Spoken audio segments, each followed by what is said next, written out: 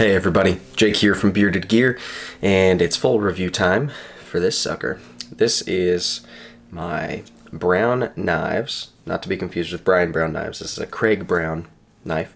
Uh, this is the Cortex V2, and uh, I don't think I've actually shown this one on the channel yet. What happened was I got from Kevin, Left EDC, a Cortex. I think that one was also a V2. Might have been a V1. Pretty sure it was a V2 as well. But that one didn't have scales on it. Well, it had scales. It didn't have bolsters over the scales like this one does in micarta. That one was just full titanium, scales on both sides. It's a frame lock. This is kind of a frame lock as well, but it's more of a bolster lock because you've got that scale there. Um, it had some zirc bits. This one has a zirc pivot collar, but that one also had, um, oh, what else was zirc on it? I think it was like an over travel stop or something um, and it had a lot of milling on it.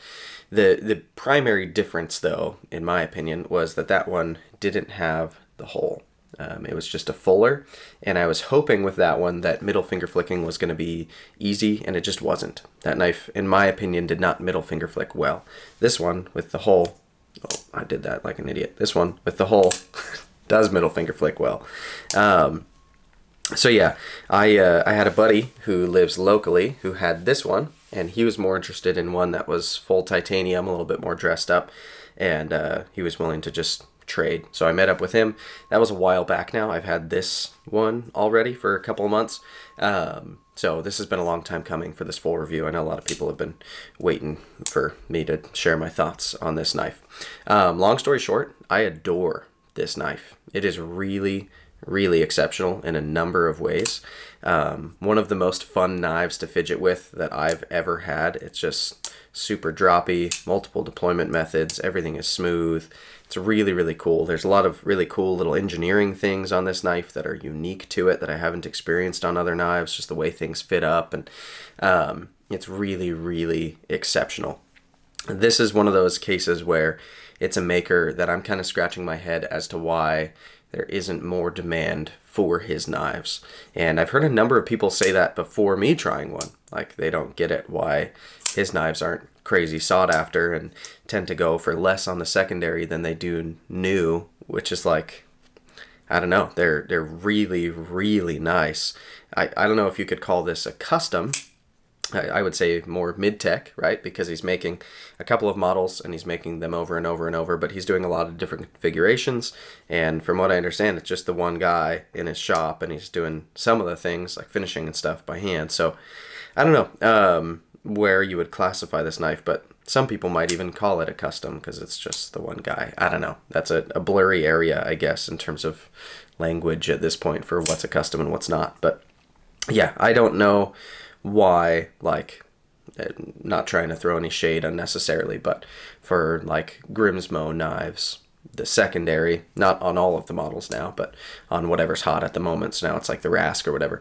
Why like secondary is crazy blown up compared to what they cost new on a knife like that, when knives like this um, are as good, maybe better, in my opinion.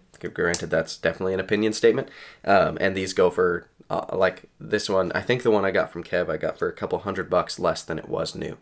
Um, and now, because I could use the money, I'm selling this one back to Kev. Um, so it's funny. He sold me the original one. I traded it for this one. And for the same reasons that I like this one better, Kevin will like it, like it better because it's better for a lefty and it has the hole and all that. So now it's going back to him for exactly what I bought the first one from him for. But yeah, it was like a couple hundred bucks less than the like table price is on these. So yeah, there's a few knives like that where I just I don't know why they don't catch on. This one hasn't yet. I predict it probably will at some point. I bet there will be a time when I'll be like, "Man, I can't believe I got one of those for less than table back whenever how long from now that is." Um, but yeah, it's just like I, I think there's going to be a moment where they're going to become pretty sought after and they're going to go for more than table on secondary or at least hold at table. Anyway, that's not really the review of the knife, is it? So let's go ahead and jump in. Um, materials wise on this guy, we're running titanium, obviously, for the frame. We've got black micarta laid over it. All titanium hardware, as you can see, because it is anodized. Um, I guess the pivot on the show side looks like it's probably steel, but got his logo on there, which is kind of cool. And then a zirconium pivot collar around it. We have titanium on the clip, matched with the ano. We have a top flipper and a hole um, the way that that top flipper we'll talk talk about how that fits in because it's really really cool but uh, blade steel on this guy is I think he's using CPM 154 if I remember correctly I'm pretty sure that's all he uses um, so do I love that that's the blade steel on here no CPM 154 doesn't excite me it's not a wow steel but it's fine um, I've used this knife a decent little bit for uh, just a lot of like my light to medium duty EDC stuff. I haven't been popping zip ties with this one, um, but I have been processing some cardboard, opening some packaging, stuff like that, and it's done well. So let's just jump right into ergos, carry, cutting, action, all those fun things. So ergonomically, this knife is really, really, really good. As long as you like relatively slender handled knives, you're probably going to not have any complaints about this. It's super neutral. You've got a little bit of a groove here, but it's gentle. There's no real points anywhere. You can choke up all the way to here. I've found myself doing that quite a bit. I like it when there's a forward choil that's usable like that. Um, it's just a, yeah, super comfortable handle in a saber grip, hammer grip, draw cut, reverse grip, reverse grip draw cut, all of it. It's it's neutral enough and contoured everywhere, and it's it just works really really well. Um, this knife is also, compared to the full titanium one, quite a bit lighter. Uh, that was the first thing I noticed about it when I switched versions, right? Uh, and I think that's just, it's not because there's internal milling or anything on this one. It's just because of the micarta scales. And then I'll also say the micarta makes it more comfortable in my hand as well. The the type of grip I get on it compared to the milled titanium and just I don't know, maybe the the softness of the micarta, it feels really, really good. I, I definitely prefer this configuration ergonomically as well as visually, and we'll talk about in carry how the weight savings helps too. But um, yeah, it's really, really nice in hand. So ergonomically, big win here. Um, let's talk action because action on this knife is really impressive. So it's kind of a top flipper. If this flipper tab was any further back, it would really almost be a regular flipper, just with the tab coming from a weird spot. But um, it's not really a front flipper because it's not up here. It's back here, right? So top flipper, I guess, is the best way to put it. I generally, on that flipper tab, just use my pointer finger and kind of drag back. Really, really comfortable and easy to do that. You can also use your thumb. That works. Um, and then, of course, there is the hole. So for me, I prefer to middle finger flick whenever possible, and this hole works great for it. It's really, really good. You can thumb flick with that hole as well. Definitely works. Um, better even than the fuller in that way as well. So yeah, the fullered blade was really just kind of a tease, which annoyed me. It was like, if I really got it just right, sometimes I could kind of get it to flick, but it was really like a lot more wrist than it was flicking. This one is just, ah, oh geez, I keep catching my finger when I'm trying to do it for the camera, but it's a it's a really good middle finger flicking knife. The detent is a little on the lighter side compared to a lot of other knives, but for these being the two opening methods, it works and it'll flop out if I wrist it, but I haven't had issues with it like coming out in pocket or anything like that. And uh, the detent may be adjustable, I don't know, but I haven't had any inclination to change it. So, um, yeah, action is just remarkable. It's on deployment, super fun. On closure, gravity does all the work for you. Super free droppy. Got to kind of watch yourself, make sure you get out of the way, which is a little bit spicy and fun for those of us who like knives that drop shut. Um, it's not so free droppy either that it's like bouncing out of the detent or anything. I haven't had any issues with that.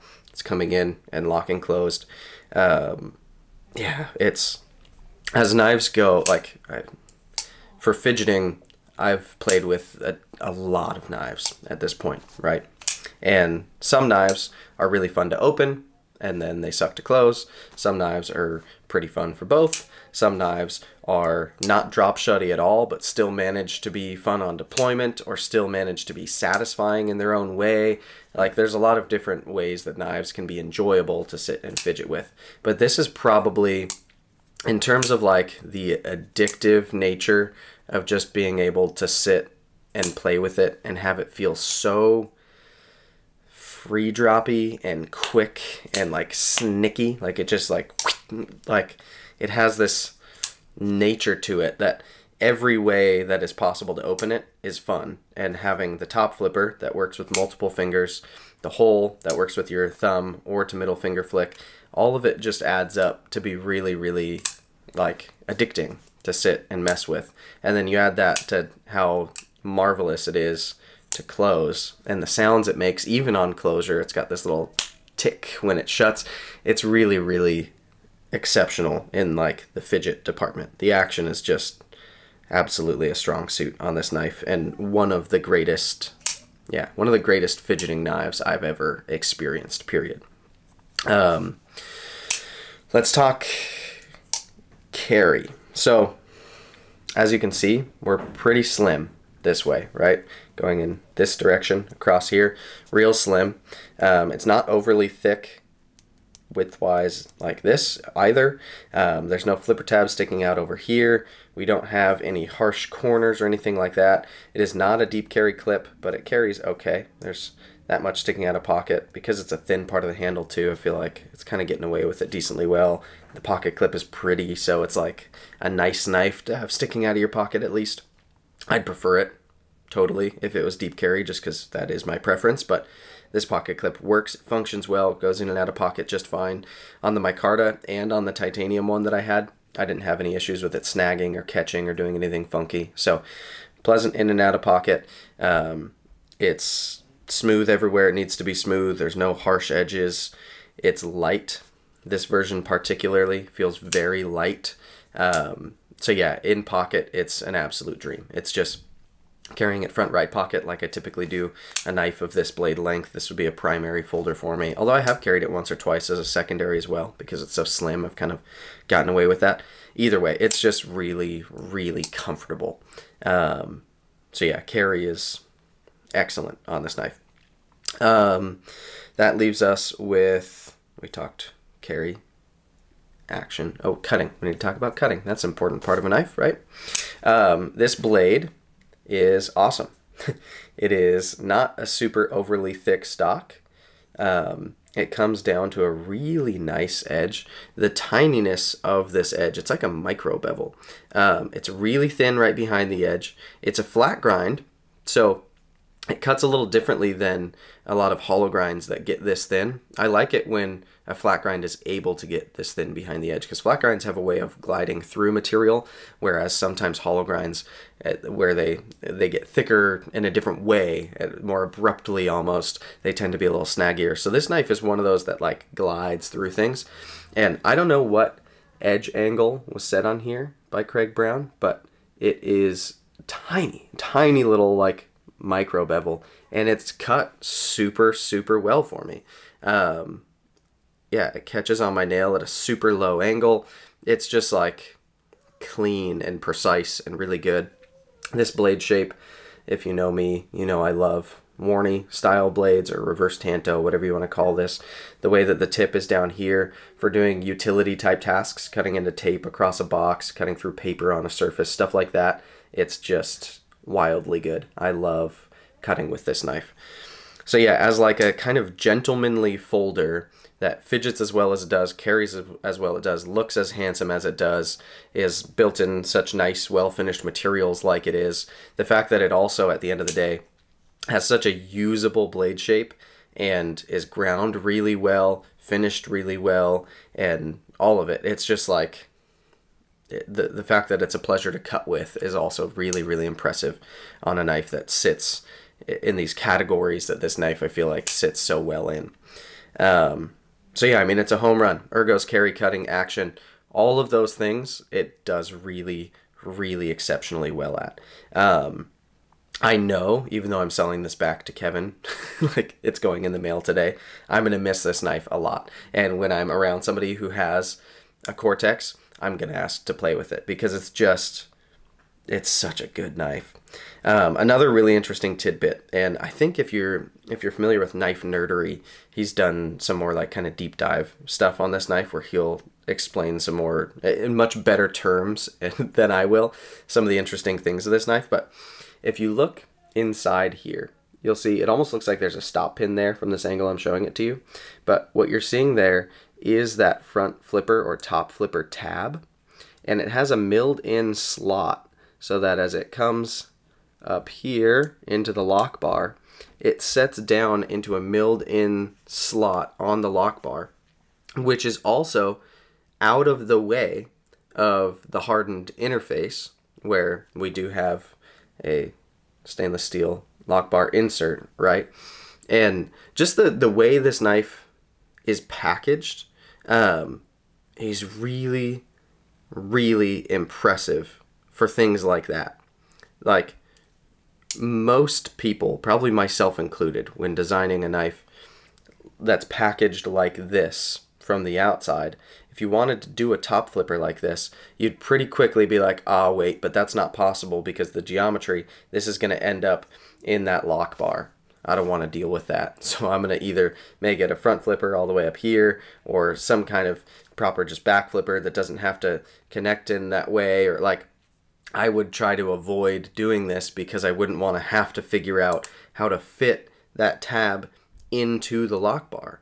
Um, and yet he's done it and he's done it beautifully. it's really, really nice. Um, so yeah, I just there's there's a number of things on here that I'm I'm really impressed with, engineering wise, that this solo maker is able to make these in house too, and do this and produce them at relative scale too. Like there's quite a few of these out there on the market now. I don't remember what number this one is. I feel like they are numbered. Um, what does it say on here too? Yeah, he's in Washington is that Blaine, Washington, if I can see it correctly. And then internally, you've got kind of like a brain etched in there too, is the cortex. Um, but yeah, really just masterful machining and making and design, and it's executed really well. So I don't know. I, am gonna miss this knife. I probably shouldn't be selling it, um, but anyway, life. So thank you guys for checking it out. This is the Cortex V2 from Brown Knives. And uh, he makes a couple of models, or at least he has in the past. There's a few I've handled, and they've all been nice. And uh, it probably won't be the last of his knives that I own, just with how good it is. I'm going to, at some point, need to have another. So, anyway, thanks for checking it out, guys. Appreciate you for watching, and we'll see you on the next one.